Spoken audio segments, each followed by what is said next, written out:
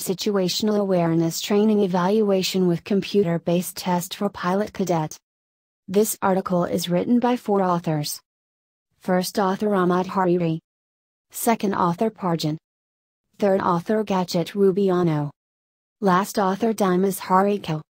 Contribution and originality of the study is that, this research was first conducted on aviation cadets.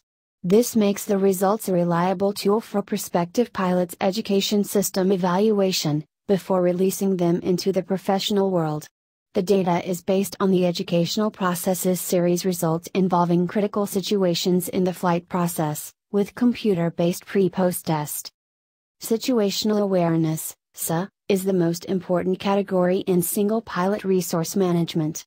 SA is how a pilot assesses the situation inside and outside the aircraft appropriately to achieve safe and efficient flight safety. SA is an important constituent of a person in information processing and the pilot decision making process. This study aims to evaluate training in cadet situation awareness.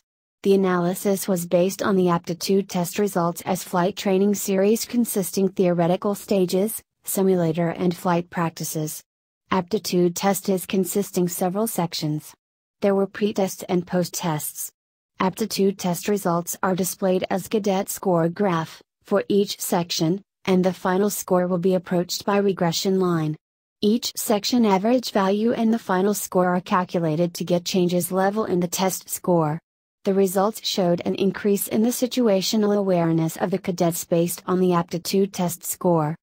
Thanks for watching this video of World Journal of Vocational Education and Training Volume 4 Issue Number 1.